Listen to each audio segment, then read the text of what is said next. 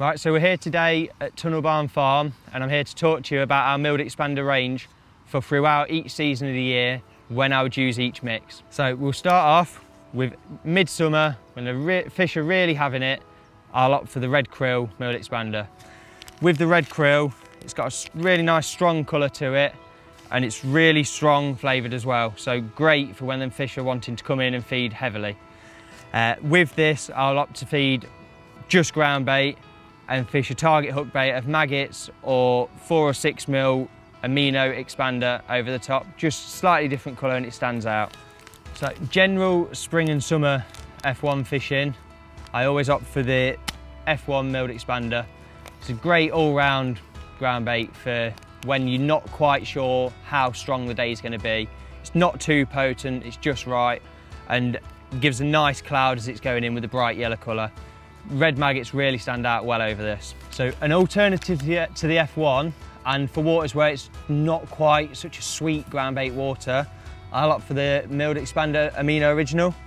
Uh, with this mix, mix, it's really safe mix to use. You're not really going to overcomplicate things or have too strong a flavour there. It's just a standard milled expander, similar to the two mil pellets everyone will be using.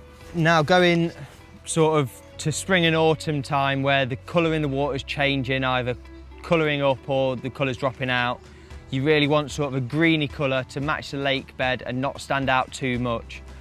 I either achieve this by mixing the black and the F1 together or simply using the betaine green milled expander. Uh, perfect colour really, darkens off slightly from what it is in the bag and it just really gives the fish a safe uh, sense of security coming in over the ground bait, it's not too lively and strong coloured to put them off.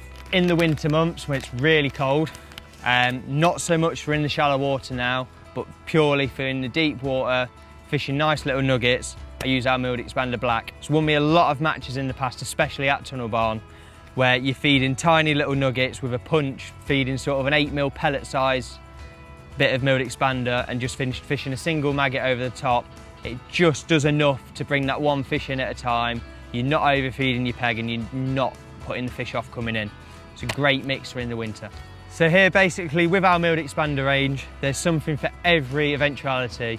You've got your strong colours for when the fish are really feeding well, and you've got your sort of dulled out colours for as and when you need to be feeding less bait and when they're a bit cautious on feeding.